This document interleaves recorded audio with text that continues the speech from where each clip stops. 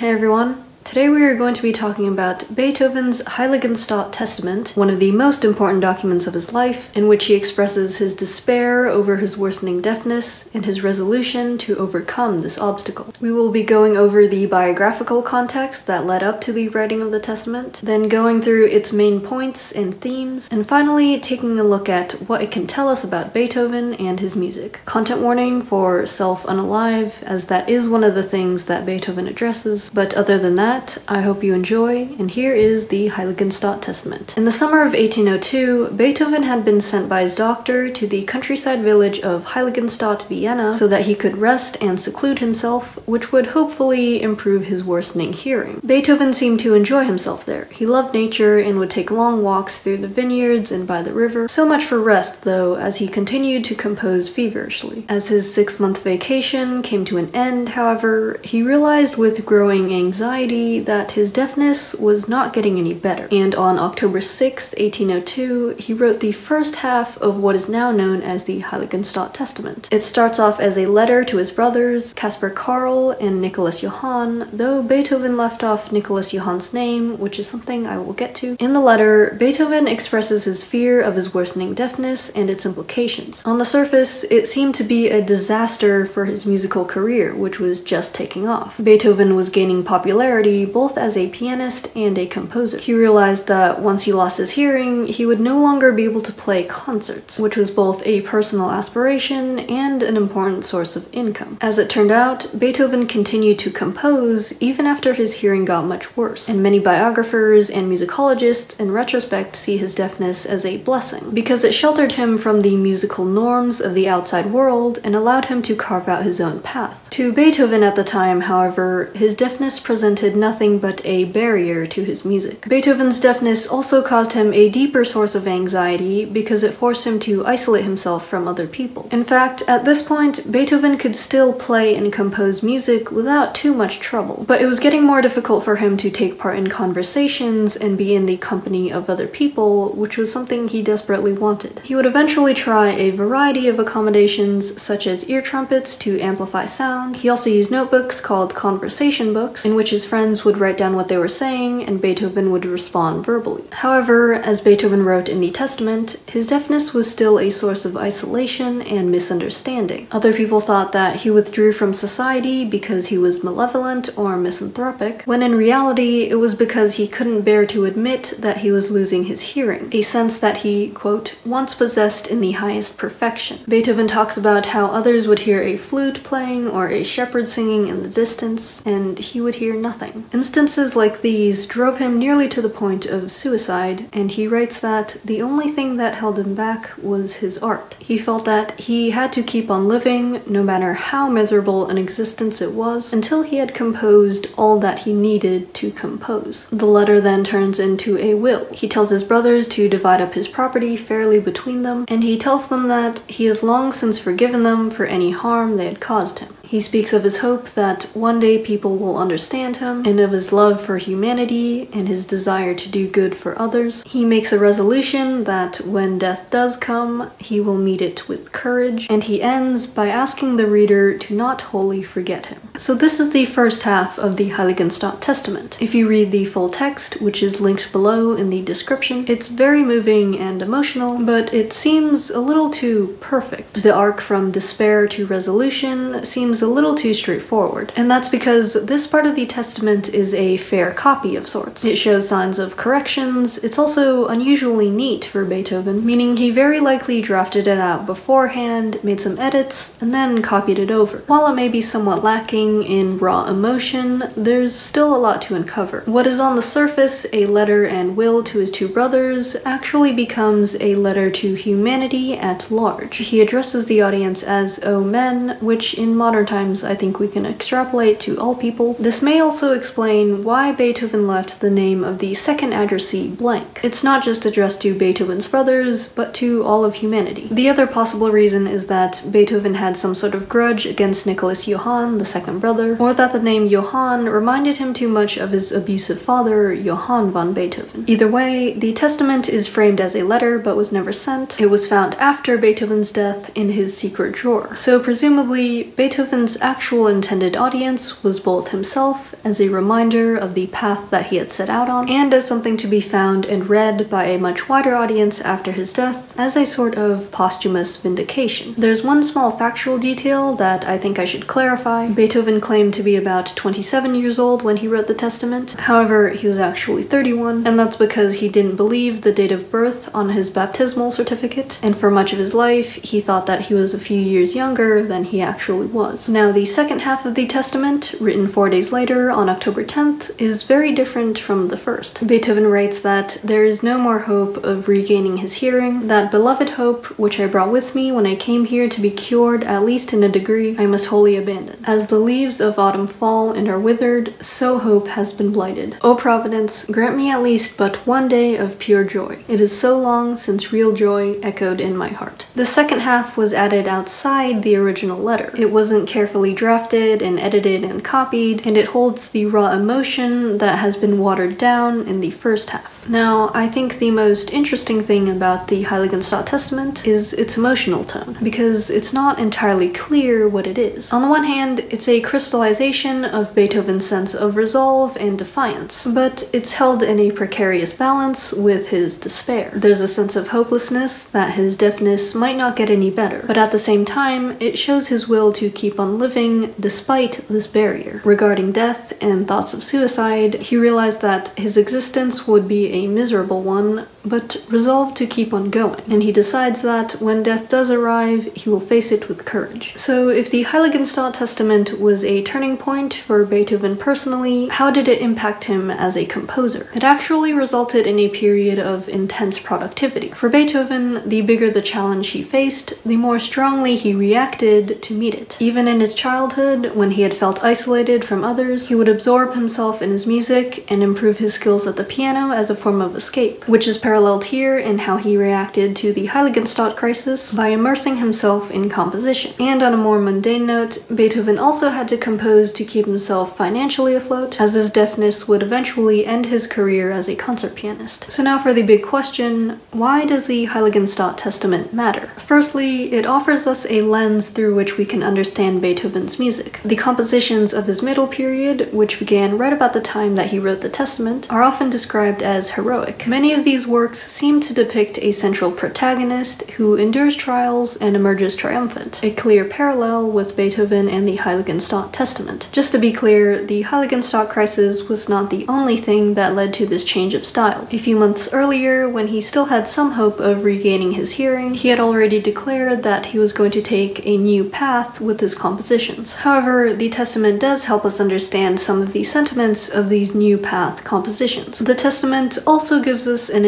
view of who Beethoven was as a person, or at least who he aspired to be if we allow room for self-glorification. The popular image of Beethoven is that he was just a crazy old man who basically hated everyone and was kind of a recluse. But that's only partly true. Yes, he was prone to sudden fits of rage, and at times he did turn violent towards strangers and even those he loved. He also believed that everyone was conspiring against him, especially in his later years. However, it's hard to say that he truly hated everyone. Beethoven said, Since I was a child, my greatest happiness and pleasure have been able to do something for others. He loved the idea of a societal hero, someone who would sweep in and solve the political and social problems of the day, and he saw art and music as something that could help people and bring them out of their suffering. In addition, Beethoven's withdrawal from society, which contributed to his negative reputation, was not always by choice. Part of it was his deafness, making it more difficult to communicate with others. Some biographers have also pointed to his neglectful upbringing, which made it difficult for him to form loving relationships. He also wanted to form romantic relationships, but he usually fell in love with people who either didn't like him back, were already in a relationship, or were outside of his social class, which was a barrier to getting married. He also recognized that he was someone who needed to wholly devote himself to his music, and he believed that romantic relationships would ultimately be a hindrance to his pursuit of that goal. Beethoven wanted to be around other people, but he found it increasingly